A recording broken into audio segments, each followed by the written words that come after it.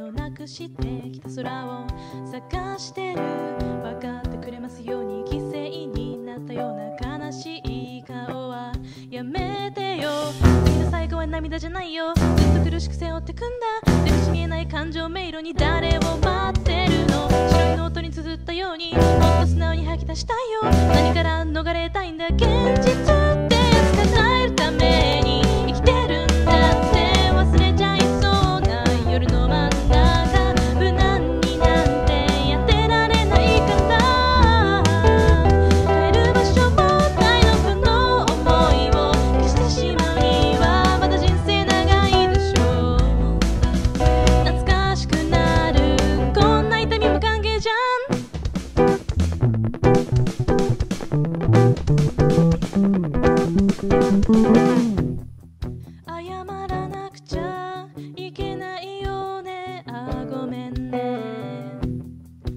うまく言えなくて心配かけたままだったね。あの日考えた全部明日抱える全部順番つけたりはしないから分かってくれますようにそっと目を閉じたんだ見たくないものまで。